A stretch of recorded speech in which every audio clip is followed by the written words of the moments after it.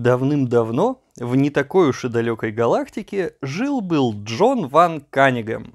Учился он на медицинском факультете того самого УКЛА или UCLA, Университета Калифорнии в Лос-Анджелесе, где 29 октября 1969 года родился интернет, если таковой датой считать день, в который через ARPANET было передано первое слово. Казалось бы, какая связь между медфаком и интернетом? В общем-то никакой – но на то он и университет Калифорнии, чтобы вся самая крутая компьютерная техника чаще всего встречалась именно там. Студент Каннигам именно в университете познакомился с компьютером Apple II, который его сразу и захватил.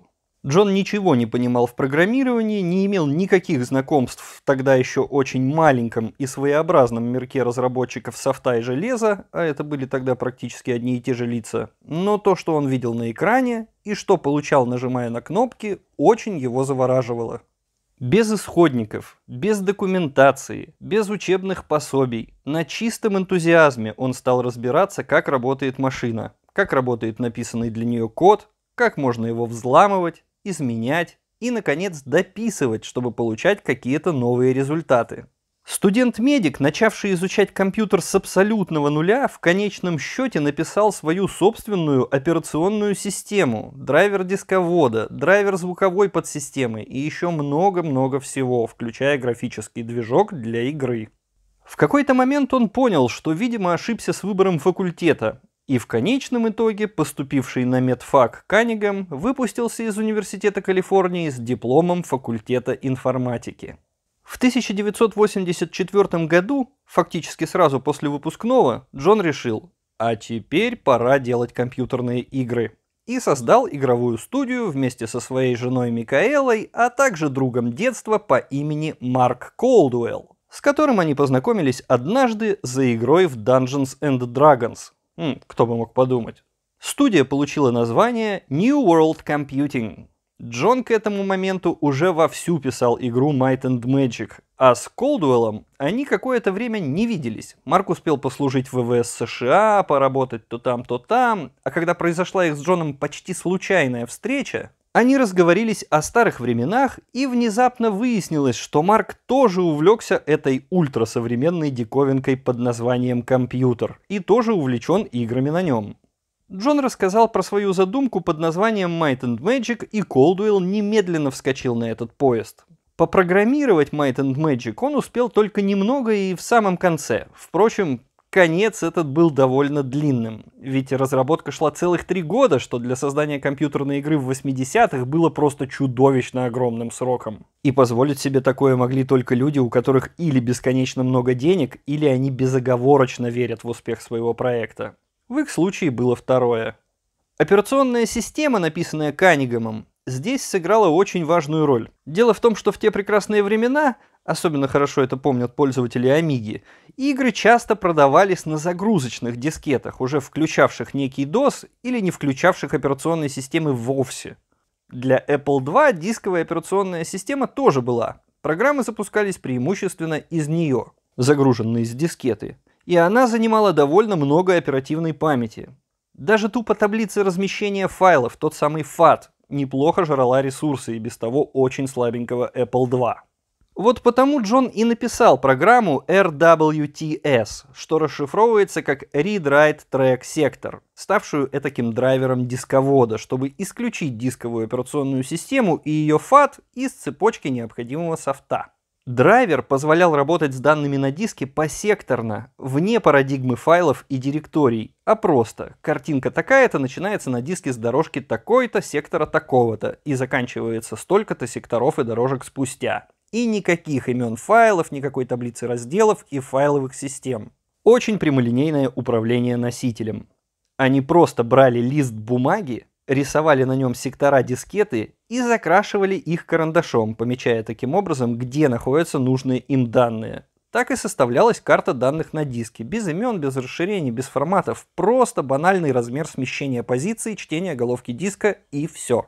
Так или иначе, игра Might and Magic, во многом выдавливавшая по крупицам абсолютно все, что можно было выдавить из Apple II, появилась на свет 1 июня 1986 года. И надо ли говорить, что это был шедевр? Не в последнюю очередь компьютерные издания отмечали именно богатство контента в этой игре. Это был все тот же старый добрый Dungeons and Dragons, но выполненный в виде трехмерной игры от первого лица. Впрочем, саму игру я обозревать не буду, вы и сами, скорее всего, все про нее прекрасно знаете. Сосредоточимся на истории компании. Джон, вероятно, знал заранее, а может только с окончанием разработки осознал, что его интересует только создание игры, а вот ее распространение, это ему было совсем неинтересно. Никто другой в его компании тоже не хотел этим заниматься, да и выбирать-то было особо не из кого. Потому что весь его так называемый офис находился в доме его родителей, и компания состояла, по сути, из двух человек, его и Марка. Чем занималась Микаэла, сказать трудно. Скорее всего, она была не более чем бета-тестером и духовным вдохновителем, но я доподлинно этого не знаю. Пришлось искать издателя. А найти издателя, когда ты сидишь у мамы с папой дома и не выпустил еще ни одной игры, это такая себе задачка, даже если твой первый продукт уже шедевр. В результате Джону и компании пришлось таки опубликовать игру собственными силами. Именно так, в общем-то, и родился New World Computing, потому что издателю нужно название. Ну а когда продажи начались и сарафанное радио разнесло весть о великолепной новой игре, потекли и деньги, подтянулись и издатели. Соответствующий контракт удалось заключить с молодой, но уже сделавшей себе на тайтлах для Atari 2600 компанией под названием Activision. Игра действительно оказалась весьма успешной, и вскоре появились ее порты под Commodore 64, macOS и, конечно, MS-DOS. Не заставил себя ждать и сиквел. Вторая часть Might and Magic Gates to Another World вышла уже в 1988 году для Apple II и MS-DOS сразу. В принципе, уже тогда Apple II был весьма устаревшим компьютером, так что третья часть, которая вышла в 1991 году, уже не создавалась специально для него. Наоборот, первоочередной платформой тогда уже стал MS-DOS на IBM PC, а порты были сделаны для Mac, Super Nintendo и Sega Mega Drive. Третья часть получила современную VGA-графику и совершенно новый движок, который потом еще долго использовался для последующих частей Might and Magic и некоторого количества спин -оффов. Но давайте вернемся чуть назад, в 1990 год. Чтобы не зацикливаться на одной игре, NWC выпустила игру Nuclear War годом ранее, в 1989 сделанную, в общем-то, специально для Амиги, но у нее был порт и под ПК. Это была сатира на тему ядерной войны. Побеждал тот, у кого осталось хоть немного населения, когда все остальные люди на Земле были мертвы. Это была пошаговая стратегия, и она получилась весьма неплохой, поэтому в том самом 90-м году NWC решила выпустить и еще одну пошаговую стратегию под названием King's Bounty. Игра была про перемещающегося на своем коне героя по имени Король Максимус, который заходил в замки, собирал войско, встречал на своем пути орды врагов, воевал с ними, призывал их в свое войско, набирался опыта и в конце концов он должен был победить своего заклятого врага по имени Арек Драгонбресс и отобрать у него скипетр власти. Игра была довольно откровенно слизана с игры Chaos The Battle of Wizards на ZX Spectrum, но тем не менее была по-своему уникальна и хорошо сделана. Эта игра с ввозимыми отовсюду компьютерами попала и в Советский Союз, где многим очень понравилось. И в связи с этим украинец Сергей Прокофьев с нуля написал к ней сиквел, который стал даже популярнее на территории современного СНГ, чем оригинальная игра. Игру он без затей назвал King's Bounty 2, и лично я в нее играл в свое время очень много, хотя она казалась мне невероятно сложной. У этой игры никогда не было никакой версии, кроме русской, и за пределами бывшего СССР о ней, в общем-то, никто и не знал. Во всяком случае, до массового распространения интернета в середине 2000-х. Скорее всего, именно поэтому в 2008 году российская компания 1С выкупила права на франшизу King's Bounty и выпустила очередной сиквел к ней под названием King's Bounty The Legend, хотя изначально игра вообще не имела никакого отношения к King's Bounty и развивалась под рабочим названием Battle Lord. То есть 1С сделала ставку не столько на популярность оригинальной King's Bounty от New World Computing, сколько на популярность в России и ближайшем зарубежье игры Сергея Прокофьева, которая с юридической точки зрения вообще не имела права на существование. Но при этом странно, что все та же 1С в августе 2019 анонсировала новую игру под простым названием King's Bounty 2, что с одной стороны совершенно логично, а с другой как бы отменяет все, что я только что нарассуждал. Ну, кто их знает. Собственно, важно-то здесь совсем другое. Джон, видимо осознавший, что King's Bounty механически очень неплохая задумка, решил скрестить эту игру с популярной и успешной игрой Might and Magic, чье имя могло бы неплохо подстегнуть продажи такой пошаговой стратегии. Так на свет появился, пожалуй, главный шедевр студии NWC Heroes of Might and Magic. Герои добавили еще больше стратегического элемента в King's Bounty, потому что теперь замки можно было развивать, улучшать, защищать и захватывать чужие. Ну, что я вам рассказываю, вряд ли кто-то из вас не знаком с концепцией героев, не менявшейся как минимум до третьей части включительно. Эта франшиза была обречена на успех, хотя Каннингем все равно параллельно занимался и другими проектами. Уже было достаточно денег, был собственный офис, дополнительные разработчики, художники, аниматоры, одним словом, было чьими силами развиваться вширь. Собственно, и между 90-м годом выхода King's Bounty и 95-м годом выхода первых героев студия тоже не сидела сложа руки, выпустив такие игры, как Fairy Tail Adventure, Tunnels and Trolls, Planet's Edge, Iron Cross и Zephyr. А также студия снова попробовала себя в роли издателя, только уже не своих игр, а сделанных другими студиями. В 1995 году, кроме первых героев, вышли еще такие игры, как Wetlands, и Anvil of Dawn. Все это было сделано не Джоном и компанией, но выпущено под брендом NWC. А сами NWC написали и выпустили игру Multimedia Celebrity Poker, за которую, по их же собственным словам, им совсем не стыдно, хотя игра особого успеха не имела. Очевидно, что им важно было попробовать новую технологию Full Motion Video, хромакея и необычного программирования всего этого дела. Ну а герои тем временем продавались как горячие пирожки. У Activision были не очень выгодные условия сотрудничества. Они хотели много денег, а за копии игры платить хотели не особо. И тогда NWC решили продаться подороже кому-нибудь другому. В это интересное время компания 3DO, о которой у меня есть и выпуск Титанов, и выпуск 16 бит, искала все возможные источники интересной интеллектуальной собственности и с удовольствием приобрела New World Computing себе. Вторая часть героев вышла уже под эгидой 3DO и получила под название The Succession Wars. Добавили героев и раз, но в целом это была все та же самая развитая King's Bounty.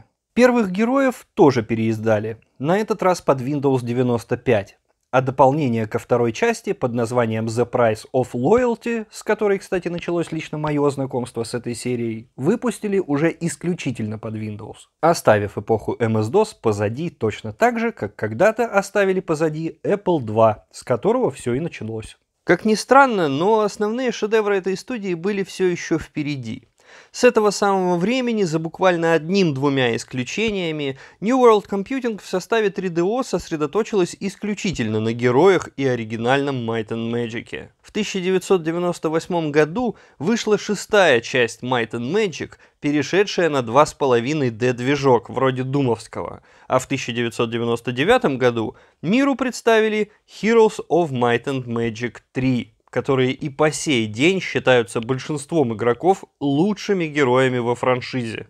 Собственно, и про шестую часть Might and Magic говорят то же самое. Это был самый пик творчества студии, самый большой ее успех. С этого момента студия публиковала исключительно свои тайтлы и делала это исключительно сама. И все они были связаны только с мечом и магией. Ну, то есть силой и магией. Ну, в официальной русской локализации герои всегда назывались меча и магией, хотя might это ни разу не меч. А потом все, как это часто бывает в моих рассказах, полетело к черту. Каннигам продолжал искать новые пути развития своих идей и сел было за разработку Might and Magic Online, которая вполне могла бы стать первой популярной MMORPG, опередив хотя бы тот же World of Warcraft – но на доведение ее до ума у 3DO уже не было денег. Более того, 3DO деньги были нужны настолько, что больше у нее не было возможности давать NWC карт-бланш. Нужно было поторапливаться и срочно выпускать то, что купят хотя бы за одно только лишь название и шилдик NWC. А уж какого оно будет качества, интересовало менеджмент в последнюю очередь.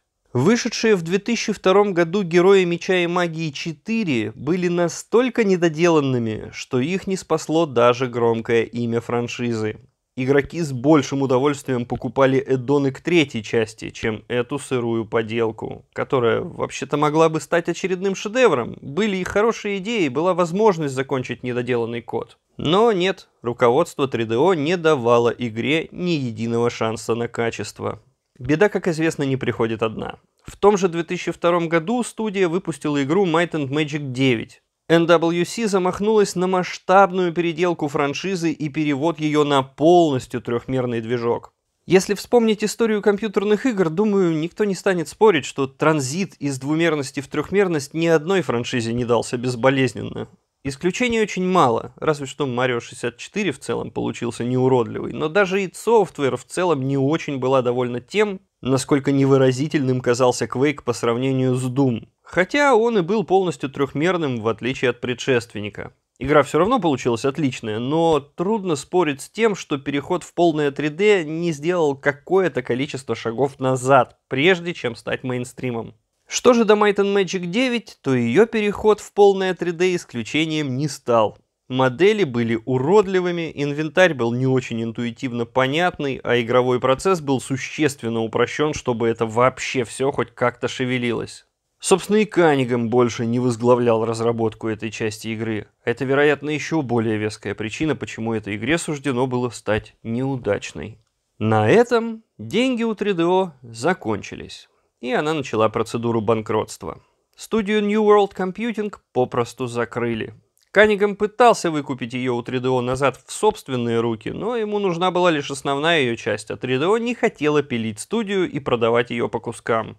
В общем, Джону не удалось этого сделать. В результате права на франшизу Heroes of Might and Magic были проданы компании Ubisoft. Но она лишь только издавала последующие части игры. Описали их наши соотечественники, питерская игровая студия Невал. Именно они создали пятых героев и два эдона к ним. А потом были другие разработчики, но это все уже не имеет к истории New World Computing никакого отношения. Студия перестала существовать оставив миру геймеров очень крутое наследие, которое продолжает жить и даже с переменным успехом развиваться.